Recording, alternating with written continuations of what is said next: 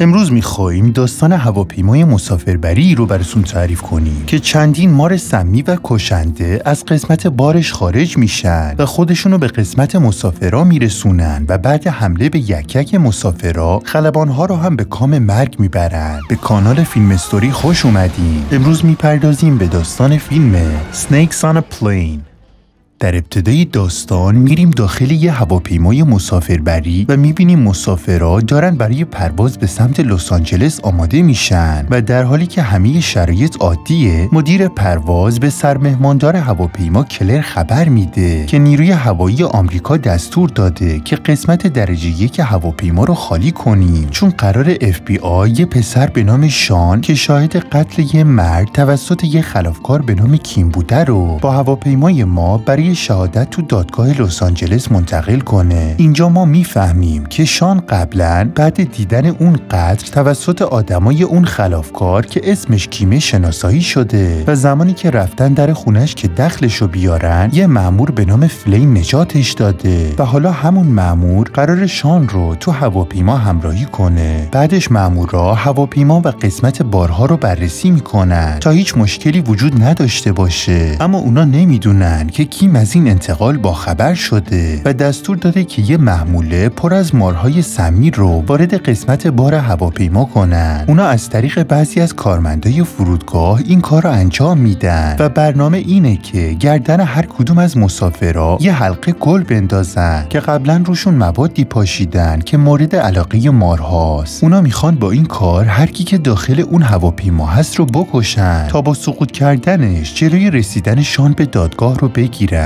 اونا یه جورایی موفق میشن چون اف بی آی نمی‌تونه مارها رو پیدا کنه. و علتش اینه که مارها توی جعبه هستن که یه تایمر داره که بعد از تموم شدن زمانش در جعبشون رو خود به خود باز می‌کنه. خلاصه هواپیما از زمین بلند میشه و چند دقیقه بعد در جعبه مارها هم باز میشه و اونا بعد از خارج شدن یه گربه بیچاره رو می‌کشن. همزمان یه زوج رو می‌بینیم که وسط این هیروویر دچار خارش سوراخ تحتانی میشن. و میرن داخل دستشویی تا با هم رابطه برقرار کنن اما اونا بدشانسی میارن چون مارها از طریق هواکش سقف دستشویی میان سراغشون و میکننشون روی زمین پهن. یکم بعد بقیه مارها به تعدادی از سیمکشی های هواپیما حمله می‌کنن که همین باعث میشه کنترل هواپیما از دست خلبانها در بره. از اون طرف یه گروه دیگه از مارها وارد قسمت اکنومی میشن و همون موقع یه مرد از سر جاش بلند میشه تا بره بشاشه. اما یه مار دودولش رو گاز می‌گیره. بعدش یه دختر به نام مرسدس رو می‌بینیم که داره با یه رپر معروف لاس می‌زنه. اما همزمان یه مار وارد کیفش میشه و با وجود این که سگش می‌خواد با واق واق بهش بفهمونه که دستشو نکنه تو کیفش اون این کار رو انجام میده. اما شانس میاره و اون مار نیشش نمی‌زنه. یکم اون طرف در یه مار به سمت تاسیسات یه زن حرکت می‌کنه و به نظر می‌رسه که زنه. اون ما رو با یه چیز کت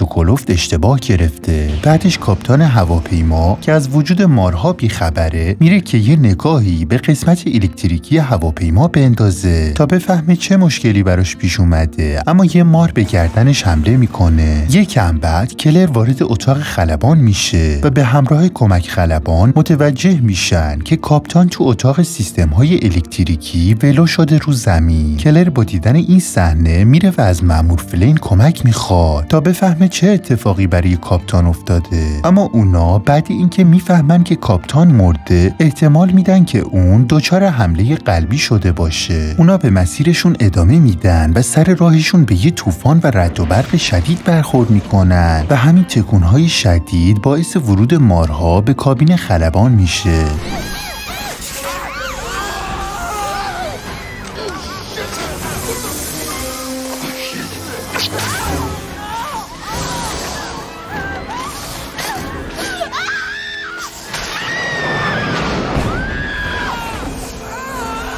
یکم بعد فلین متوجه حمله مارها به قسمت اکنومی هواپیما میشه و با شوکرش میره به کمک مسافرا. اونجا بین جمعیت یه مرد میره زیر دست و پا و پاشنه کفش یه زن گردنش رو سوراخ می‌کنه و بعدش اون رپره می‌خواد تو دستشویی مخفی بشه. اما به جسد اون زن و شوهره برخورد می‌کنه و می‌بینیم که یه مهماندار یکی از مارها رو میندازه داخل یه ماکروویو تا منفجرش کنه. یکم بعد فلین مسافرا رو به قسمت جلوی هواپیما هدایت می‌کنه و ازشون می‌خواد که بین خودشون و مارها یه صد درست کنن. اما همزمان می‌بینیم که مرسدس موقع فرار بیهوش شده و بعد اینکه بهوش میاد می‌فهمه که تو بد مخمصه ای افتاده.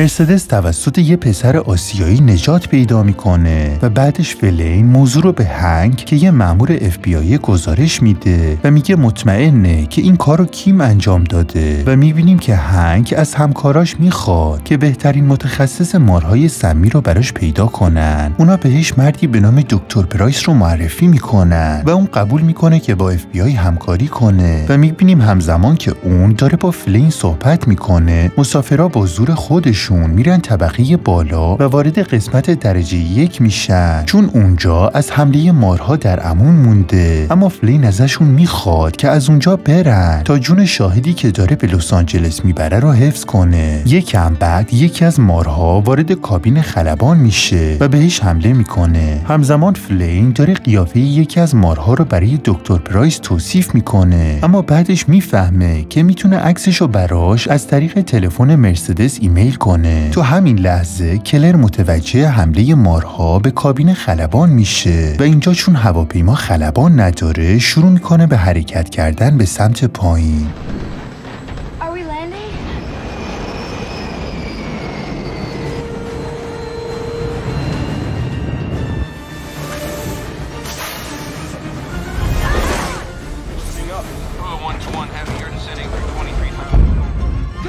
از اون طرف مسافرا مجبور میشن دوباره برن طبقه بالای هواپیما تا از حمله مارها در امون بمونن. اما تو این مسیر چند نفرشون کشته میشن تا اینکه گنده ترین مارها وارد میدون میشه و یکی از مسافرا برای اینکه متوقفش کنه سگ مرسدس رو میندازه جلوش اما یکم بعد اون مار دور همون مرد حلقه می‌زنه و شروع می‌کنه به خوردنش. خلاصه مسافرا میرن طبقه بالا و بعد اینکه مسیر راه پله رو با یه قایق بادی میپوشونن فلین و سرمهماندار موفق میشن هواپیما رو بکشن بالا و بعدش می‌بینن که یکی از خلبانها هنوز زنده است. از اون طرف دکتر پرایس بعد دیدن عکس مارها به هنگ خبر میده که این مارها تو قاره های دیگه زندگی می‌کنن و هر کی که این کارو کرده می‌دونسته که پادزهرشون تو آمریکا به سختی پیدا میشه. بعدش برمیگردیم رو آسمون و فلین بعد اینکه می‌فهمه سیستم تهویه هوا از کار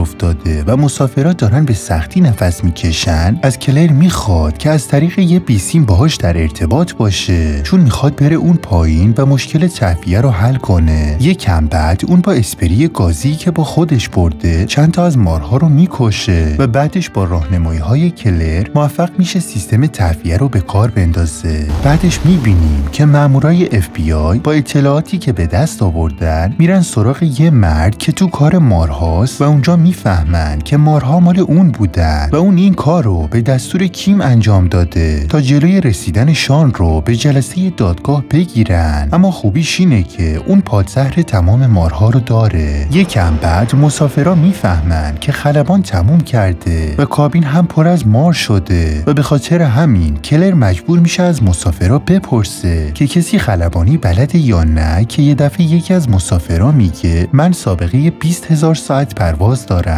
خلاصه فلین دیگه رد میده و می‌خواد هر جوری که شده از شر اون مارها خلاص بشه و به خاطر همین یه فکری به سرش می‌زنه و اونم اینه که بعد اینکه همه مسافرا سر جاشون نشستن به یکی از پنجره ها شلیک کنه تا فشار هوا همه مارها رو از هواپیما بندازه بیرون.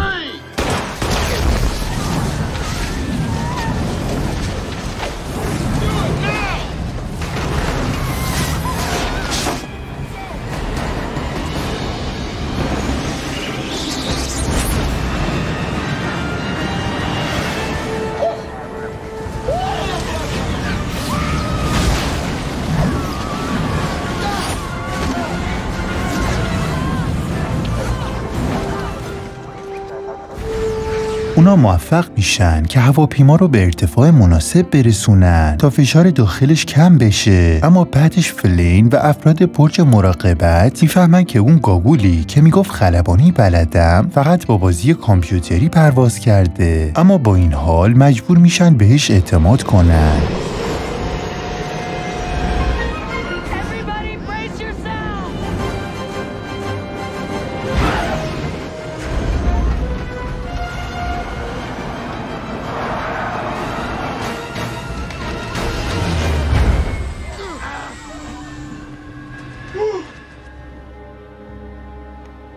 بالاخره اونا به همت گاگول خان فرود میان و بعد اینکه مسافرها پیاده میشن پادزهرها هم از راه می‌رسن. اما یه دفعه یه مار به سینه شان حمله می‌کنه و فلین هم مجبور میشه بهش شلیک کنه چون می‌دونه که اون قبلا جلیقه ضد گلوله تنش کرده. آخر داستان هم می‌بینیم که فلین میره سمت کلر و اونو به یه شام دعوت می‌کنه و بعدش می‌بینیم که شان هم تونسته مخ اون یکی مهمان داره رو بزنه. برای دانلود این فیلم می‌تونید به کانال تلگرام ما که لینکش رو براتون پایین صفحه و داخل description نوشتیم مراجعه کنید.